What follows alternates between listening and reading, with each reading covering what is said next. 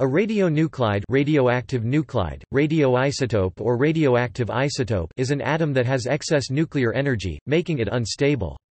This excess energy can be used in one of three ways, emitted from the nucleus as gamma radiation, transferred to one of its electrons to release it as a conversion electron, or used to create and emit a new particle alpha particle or beta particle from the nucleus. During those processes, the radionuclide is said to undergo radioactive decay. These emissions are considered ionizing radiation because they are powerful enough to liberate an electron from another atom. The radioactive decay can produce a stable nuclide or will sometimes produce a new unstable radionuclide which may undergo further decay. Radioactive decay is a random process at the level of single atoms, it is impossible to predict when one particular atom will decay. However, for a collection of atoms of a single element the decay rate, and thus the half-life for that collection can be calculated from their measured decay constants. The range of the half-lives of radioactive atoms have no known limits and span a time range of over 55 orders of magnitude.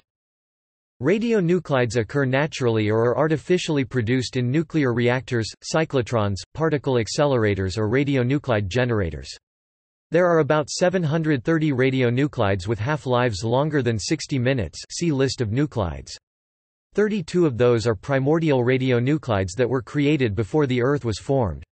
At least another 60 radionuclides are detectable in nature, either as daughters of primordial radionuclides or as radionuclides produced through natural production on Earth by cosmic radiation. More than 2,400 radionuclides have half-lives less than 60 minutes. Most of those are only produced artificially, and have very short half-lives. For comparison, there are about 253 stable nuclides. In theory, only 146 of them are stable, and the other 107 are believed to decay alpha decay or beta decay or double beta decay or electron capture or double electron capture. All chemical elements can exist as radionuclides. Even the lightest element, hydrogen, has a well-known radionuclide, tritium. Elements heavier than lead, and the elements technetium and promethium, exist only as radionuclides. In theory, elements heavier than dysprosium exist only as radionuclides, but the half-life for some such elements e.g. gold and platinum are too long to found. Unplanned exposure to radionuclides generally has a harmful effect on living organisms including humans, although low levels of exposure occur naturally without harm. The degree of harm will depend on the nature and extent of the radiation produced, the amount and nature of exposure close contact, inhalation or ingestion, and the biochemical properties of the element, with increased risk of cancer the most usual consequence. However, radionuclides with suitable properties are used in nuclear medicine for both diagnosis and treatment. An imaging tracer made with radionuclides is called a radioactive tracer. A pharmaceutical drug made with radionuclides is called a radiopharmaceutical.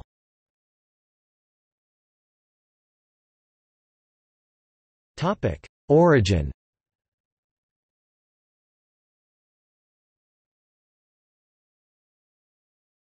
Topic: Natural.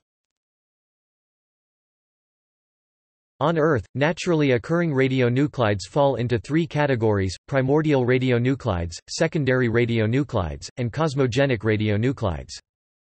Radionuclides are produced in stellar nucleosynthesis and supernova explosions along with stable nuclides.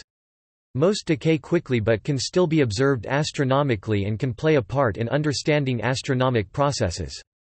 Primordial radionuclides, such as uranium and thorium, exist in the present time because their half-lives are so long greater than 100 million years that they have not yet completely decayed.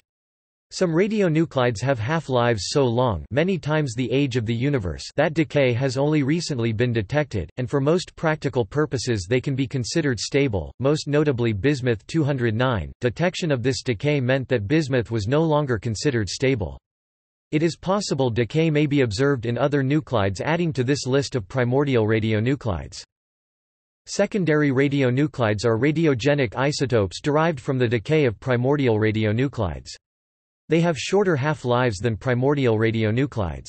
They arise in the decay chain of the primordial isotopes thorium-232, uranium-238 and uranium-235. Examples include the natural isotopes of polonium and radium. Cosmogenic isotopes, such as carbon-14, are present because they are continually being formed in the atmosphere due to cosmic rays. Many of these radionuclides exist only in trace amounts in nature, including all cosmogenic nuclides. Secondary radionuclides will occur in proportion to their half-lives, so short-lived ones will be very rare. Thus polonium can be found in uranium ores at about 0.1 mg per metric ton 1 part in 1010. Further radionuclides may occur in nature in virtually undetectable amounts as a result of rare events such as spontaneous fission or uncommon cosmic ray interactions.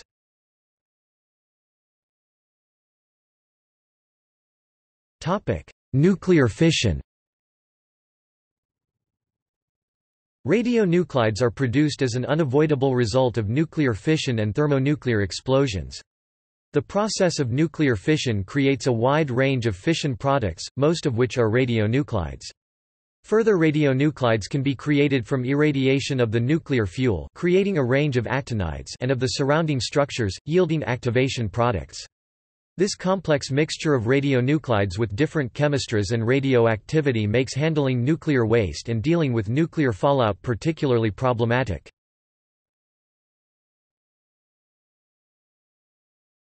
Topic: Synthetic.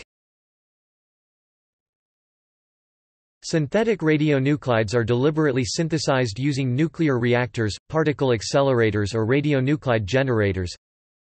As well as being extracted from nuclear waste, radioisotopes can be produced deliberately with nuclear reactors, exploiting the high flux of neutrons present. These neutrons activate elements placed within the reactor.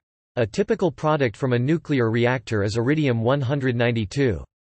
The elements that have a large propensity to take up the neutrons in the reactor are said to have a high neutron cross-section. Particle accelerators such as cyclotrons accelerate particles to bombard a target to produce radionuclides. Cyclotrons accelerate protons at a target to produce positron-emitting radionuclides, e.g. fluorine-18. Radionuclide generators contain a parent radionuclide that decays to produce a radioactive daughter. The parent is usually produced in a nuclear reactor. A typical example is the technetium-99 m generator used in nuclear medicine. The parent produced in the reactor is molybdenum-99.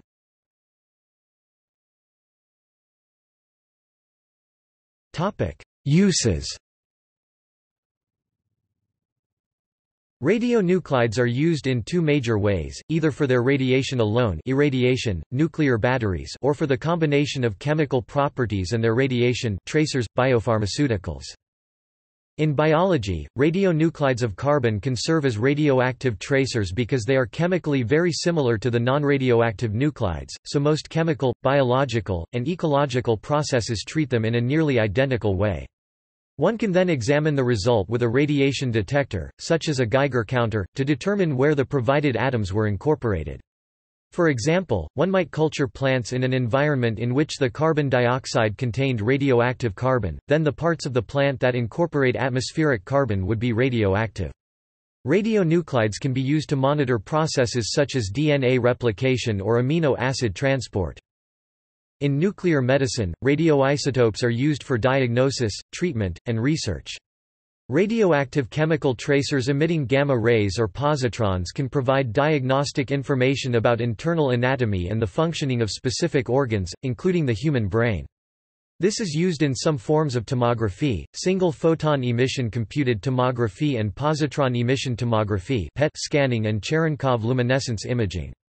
Radioisotopes are also a method of treatment in hemopoietic forms of tumors. The success for treatment of solid tumors has been limited. More powerful gamma sources sterilize syringes and other medical equipment. In food preservation, radiation is used to stop the sprouting of root crops after harvesting, to kill parasites and pests, and to control the ripening of stored fruit and vegetables.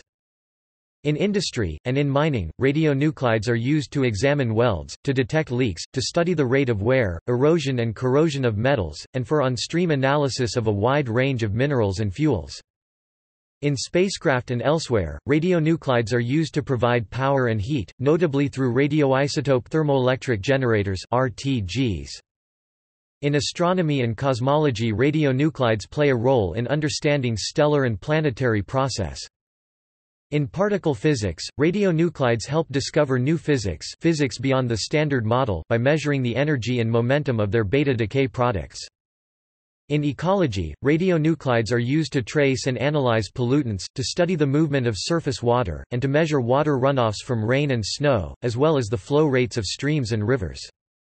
In geology, archaeology, and paleontology, natural radionuclides are used to measure ages of rocks, minerals, and fossil materials.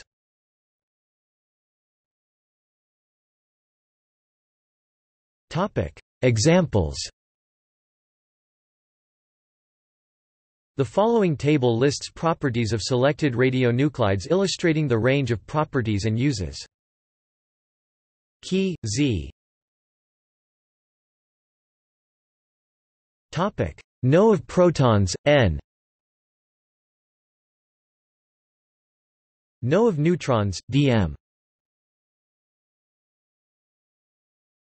Topic: Decay mode, de. Decay energy, EC equals electron capture equals. Topic: Household smoke detectors. Equals.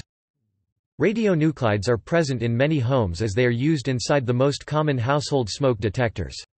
The radionuclide used is americium-241, which is created by bombarding plutonium with neutrons in a nuclear reactor. It decays by emitting alpha particles and gamma radiation to become neptunium-237.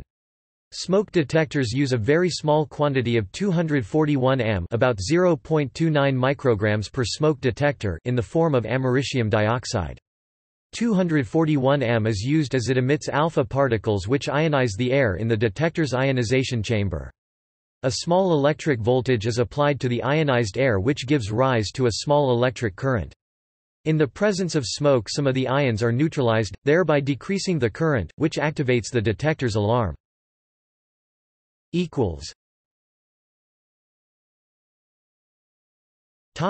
Impacts on organisms equals Radionuclides that find their way into the environment may cause harmful effects as radioactive contamination. They can also cause damage if they are excessively used during treatment or in other ways exposed to living beings, by radiation poisoning.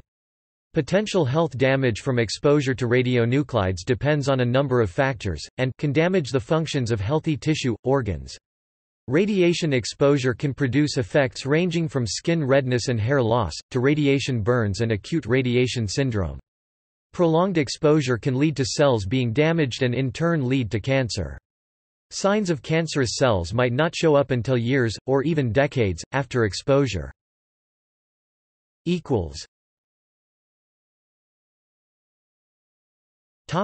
Summary table for classes of nuclides. Stable and radioactive equals Following is a summary table for the total list of nuclides with half-lives greater than 1 hour.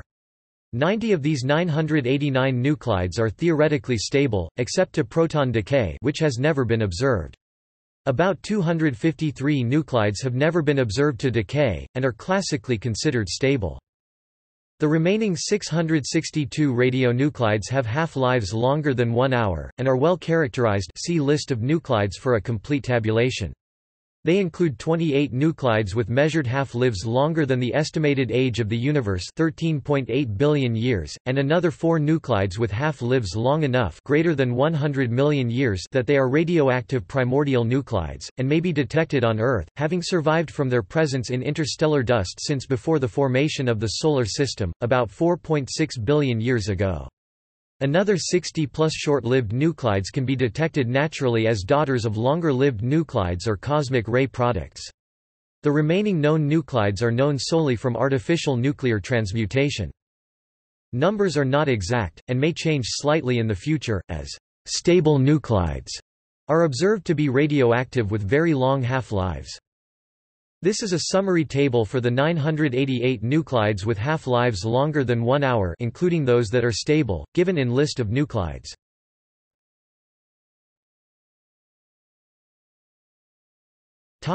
List of commercially available radionuclides This list covers common isotopes, most of which are available in very small quantities to the general public in most countries. Others that are not publicly accessible are traded commercially in industrial, medical, and scientific fields and are subject to government regulation.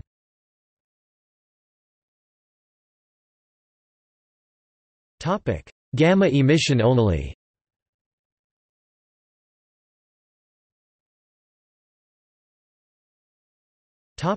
Beta emission only.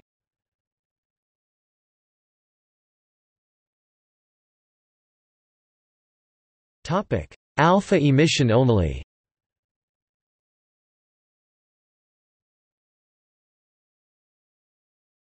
Topic: Multiple radiation emitters.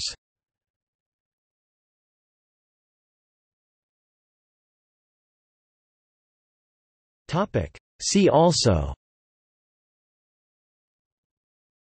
List of nuclides shows all radionuclides with half-life greater than 1 hour Hyperaccumulators Table 3 Radioactivity in biology. Radiometric dating. Radionuclide cisternogram. Uses of radioactivity in oil and gas wells. Notes